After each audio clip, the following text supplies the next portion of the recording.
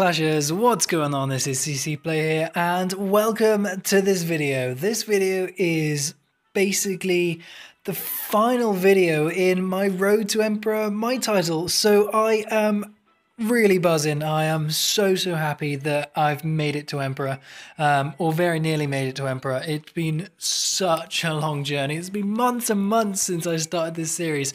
Uh, now, to clarify things up from what I said in my last video, um, I mentioned I'll be giving away some might boosting tips also. Um, and I've had a thought, and so as not to confuse things, I'm basically going to upload this video on its own as basically I've reached Emperor, show you guys the reward you get as Emperor, etc, etc.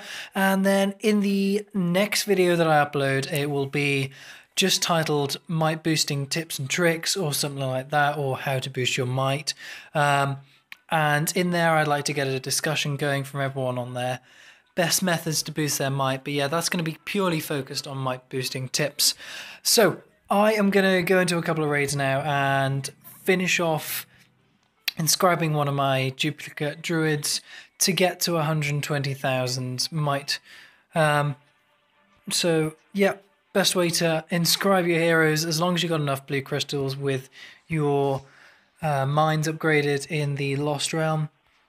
You literally just go into a raid, focus on the mana vaults, end the battle once you've got it, and then you've got 900,000 mana. And then you can go in, find the hero that you're working on. For me, it was the fourth one down. Yes, it was. I'm quite sad for knowing that, I must admit. Okay, we're very close. We have four might off. And so I'm going to go in and do another raid. One, two, three.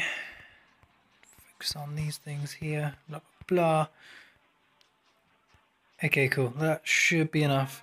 Um, by the way, I don't mind failing these at the moment. Um, I know you lose a little bit of HB, but I don't know why. I kind of want to get this just for the satisfaction of complete the achievement, um, losing attacks. I don't know how anyone can, not without trying, lose a thousand attacks against other players. Um, they should be giving like a thousand gems to do that because it's actually quite hard to lose battles.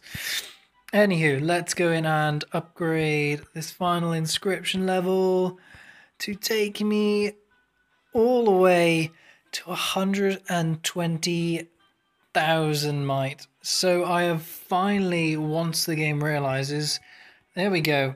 I have finally reached Emperor. I, I am finally Emperor CC Play, and I am so so happy. I mean, look at the rewards. So when I started this, I think I was, gosh, I was king yeah, I was king, and that was 80,000 to 120,000. So that was an increase of 40,000 might. Now, the gems don't go up at all. Um, we get 5% extra strength boost in the arena, and we also get 10,000 HB instead of 8,800 and 140 shards, so 20 more shards a day. And speaking of all my guildies, before I started this, Road to Emperor series, they were like, you know, you've got to get to 120,000, you've got to get here with us. It's so much better. The rewards are great. Um, HB comes more easily. And I have to admit, guys, as my might's been going up, everything has been getting easier and easier and easier because HB comes in easier. Um, your shards come in more quickly. It's it's just brilliant. I mean, when I started with this guild, I was on 34,000 might, so I was a marquis and since August, I think it was August that I joined them. August. I think, yeah. Maybe July, August time, I joined them with 34,000 might. And now, with their help, I've basically got to 120,000 might. So they've helped me do that. And I want to help all of you guys do that. I want to help you all basically be as good as you can be in this game.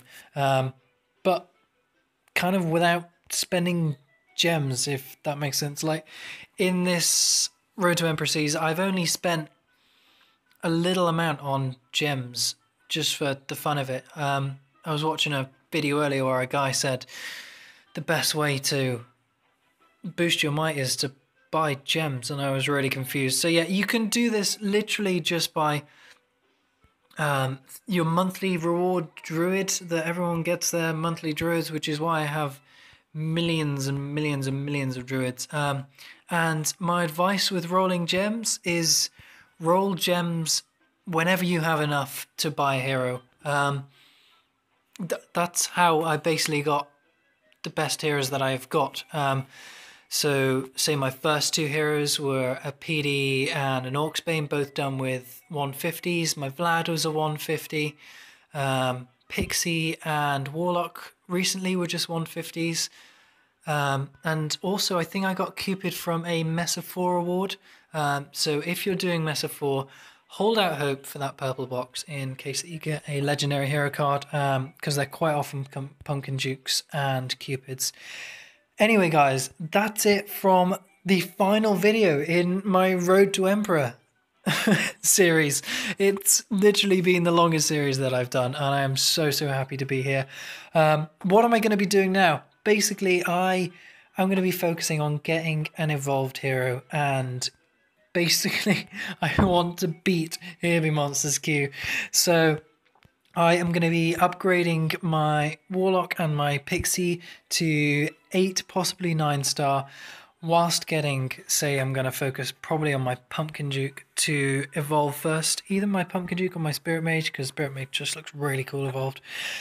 But yeah, that's what I'm going to be doing. I'm going to be focusing a lot more on my main heroes, because as I know, and probably a lot of well, a lot of people have actually told me they're like, your hero levels are rubbish compared to your might. Um, but I basically wanted to get my might up first, so it was easy then to level up my main heroes. But I digress, guys. Keep it easy, have fun playing Castle Clash and getting your might up. Just keep on boosting. It's amazing. This is CC.